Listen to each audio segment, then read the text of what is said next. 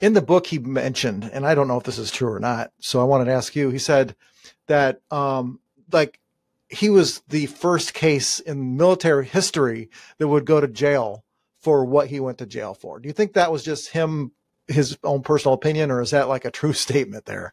No, it's not a true statement. No, it's his own personal opinion, trying to be a little bit of a martyrism. Um, I've seen people go to jail for a whole hell of a lot less than that, you know. And it wasn't just it, what what he tries to make the to say. I posted a video challenging the leadership, and they put me in jail. Well, not really. You posted a video challenging the leadership, violating you know various rules by posting that, you were given a order, a lawful, a lawful order to not do that, and you continued to violate that over and over and over. And then you start talking about like, when you know, I know he discussed in the book, but saying I'm going to burn the whole system down. I think that's the words he used, and so on. So it wasn't that he was placed in pretrial confinement because he posted the video, because he posted the video over and another one and another one, and continued to violate no contact orders. And so I think that's the leadership decided that we can give him all the orders in the world. Uh, he certainly wasn't a flight risk, uh, you know, that's one of the, but he was going to continue to commit misconducts. They placed him in pretrial confinement. Um, that's what I think happened. And so, no, I don't think he's the first that's ever gone to pretrial confinement. Do I know of any other case where people have gone to pretrial confinement for posting a video? No, I don't. I mean, maybe that is the only one. But I know a whole hell of a lot of cases where people go to pretrial confinement because they continue to violate orders, where they'll commit misconduct. They'll be given an order to not continue to commit that misconduct. If they, whatever that misconduct is, they continue to do it. I mean, just think about a drug case. Someone pops positive for marijuana. You give them an order. Hey, don't do drugs anymore. Two weeks later, they post they, they come up positive again.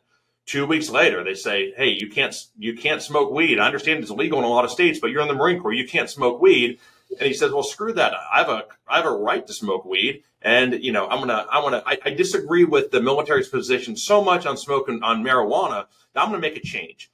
I'm to make a change and, you know, let my voice be heard. And I'm to go online and, and, and take a video of me hitting off the bong and smoking weed. It's the same concept, really, saying, hey, generals, the leadership doesn't understand that, you know, us young Lance Corporals, we need to smoke weed, you know, you know. Mm-hmm. And so then he does the second time or a third time, maybe a fourth time. They're going to throw him in pretrial confinement every time if that happens.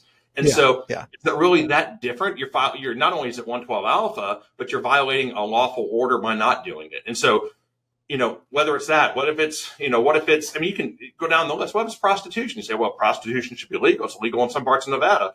I'm going to go film myself going and getting a prostitute and you get in trouble for it. And you say, well, I'm do it again and do it again and do it again. And no matter what it is, whether it's weed, prostitution, uh, speeding, whatever the hell it happens to be, you may not disagree with, you know, the, the general military's position on it, want to change it, but it's never going to go well for you.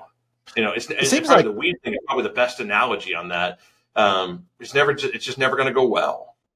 Yeah, it seems like that's a recurring theme because you're you're able to rattle off several uh, uh, ex- uh, similar examples of somebody just moving with their position when they're when they're basically told to say, "Listen, you need to stand down," and the and the, and the Marine or Navy or or the person in the military saying, "I am not going to stand down." That's where they're getting in trouble.